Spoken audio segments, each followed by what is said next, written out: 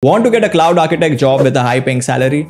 Now you can. Become a certified AWS Solutions Architect by joining the AWS Certification Training course from Edureka. Why AWS? Well, an average AWS Solutions Architect earns up to 9 lakh rupees per year in India and up to $130,000 in the United States. But the maximum salary, it can go up to 35 lakh rupees per year in India and up to $220,000 in the United States. Not only that, research has also shown that the cloud computing market will be worth around $623 billion in 2023 and Amazon Web Services has the biggest share in that market currently. So prepare for the AWS Solutions Architect certification with Edureka.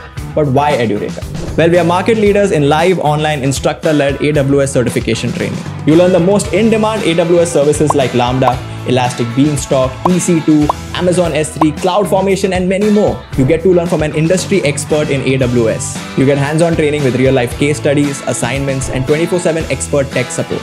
Our batches are flexible, so you can join the weekend or the weekday batch based on your comfort. And most importantly, you will be on your journey to becoming a certified AWS solutions architect. So top tech companies can hire you easily. But that's not it. The best part is you can learn all of this while doing your current job at the same time. So join Edureka's AWS certification training course and crack the AWS Certified Solutions Architect exam on the first attempt. Hurry up and enroll now. The next batch is starting soon.